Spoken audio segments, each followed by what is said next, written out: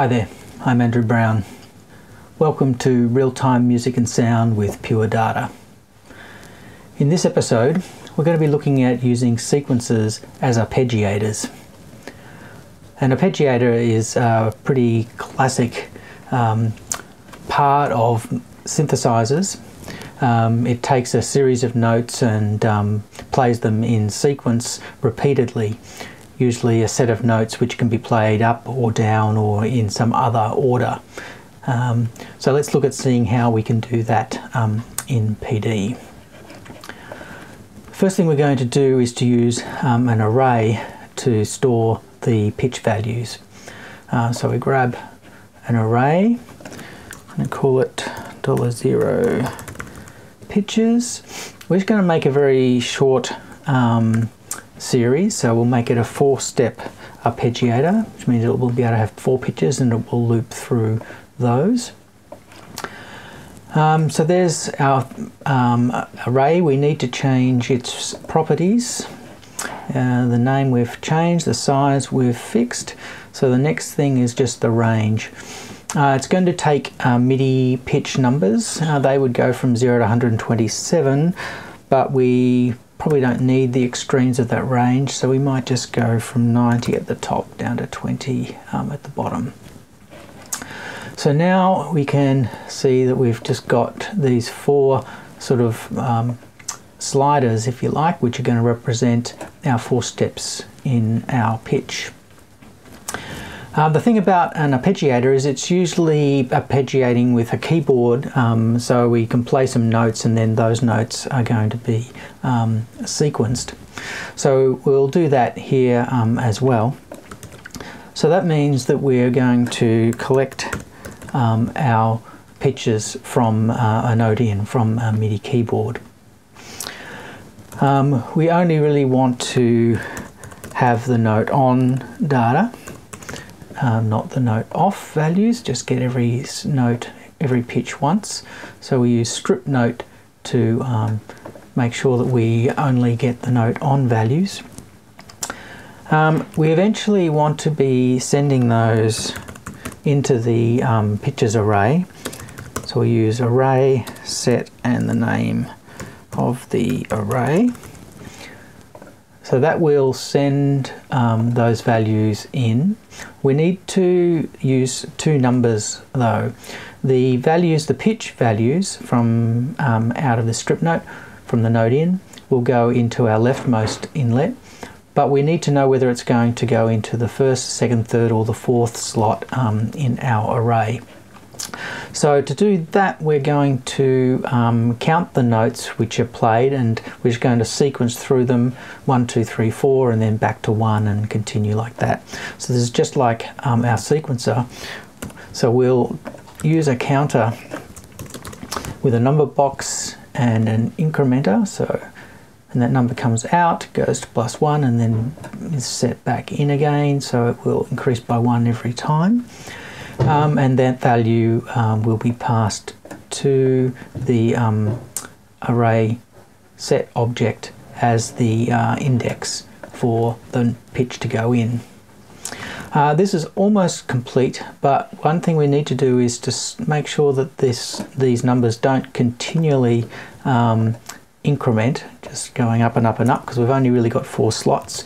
So we'll use the uh, modulo function, modulo by four because that's how many slots we've got.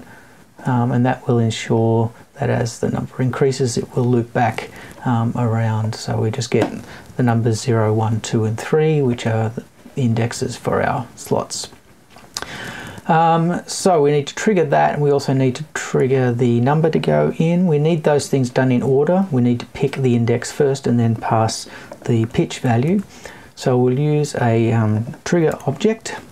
Um, we used to use T for short for the trigger object um, and it needs to do two things. First thing is that we send a bang to this floating point number so it outputs the index and then we pass the pitch value as a number as a floating point f floating point number into there. Alright so that should be okay. Let's give that a go from our MIDI keyboard. Alright excellent So you can see that as I press um, pitches on my MIDI controller, they are passed in and set the pitches um, in our array. So that's uh, great. So we're now grabbing the um, pitches that we're going to set for our arpeggiator. So now it's time to um, put together our kind of sequencing process to uh, loop through those. Um, so we've done, there's been a couple of videos on this, so we'll move fairly quickly through it, but the heart of all sequences, of course, um, is the metronome. We're going to say quarter of a beat at 120 beats um, per minute. Uh, that's going to be our metronome. We will want to send um, tempo that uh, messages so we can change the tempo. We're going to use a variable um, and we're doing stuff in the per minute, beats per minute uh, mode at the moment. And so we can put a number box there. So that will send um, tempo information to our metronome. Um, we can use a toggle to start and stop the metronome. There we go. So that's good. Uh, if we put a bang object after that, we can check that that's working. There we go. And we can have a slower tempo or a faster tempo. Okay, so that's all working. Um, all right. Um, also, uh, at the heart of a sequencer is another counter, so we'll implement a similar process that we did previously to count through the bangs.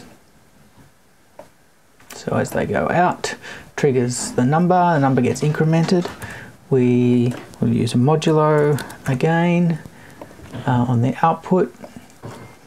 Um, and so if we check what we get, we should just get the numbers. There we go, 0, 1, 2, 3, 4, so that's all good. Um, one slight bit of finessing that I want to do now is it's useful when you start to make sure that you're always starting at the beginning. Uh, at the moment it's the on off for the metronome is kind of acting like a pause and then restarting on the next index. Um, so I'm going to add um, a message box to reset um, the number counter to zero every time um, that is started.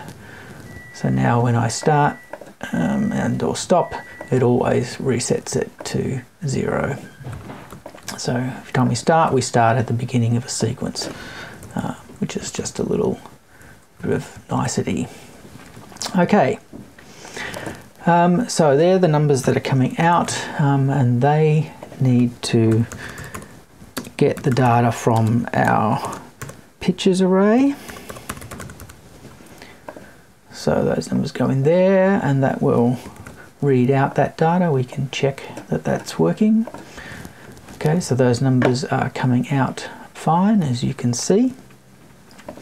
Um, and that information then needs to be passed as pitch data into our uh, synthesizer. Uh, we, in previous videos, have created various um, synthesizers, so I'm going to copy and paste one from things that we've created previously. Um, what will happen um, with this is that uh, it's got a synth in there. I'll open it up just quickly so you can have a bit of a look what that synthesizer is uh, turns the pitch data into frequencies. Uh, it's got some phasors for the basis for some sawtooth action, um, a filter, um, a volume control, and a small amplitude envelope that's just an attack release envelope. All right, let's see if we got any sound from that. There we go. So we can hear, we can change these pictures manually with our mouse or more interestingly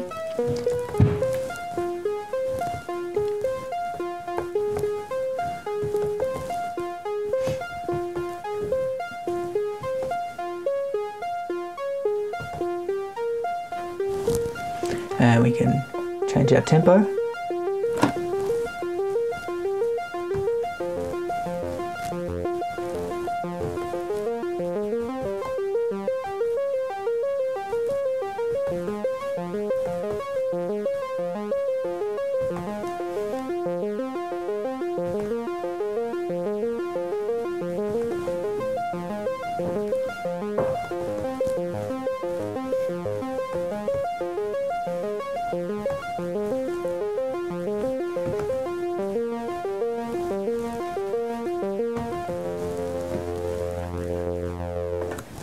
And so on and so forth. Um, so there you have it, hours of fun. Um, if you want to make the sequence go in a different direction, let's just um, say we've got this ascending line.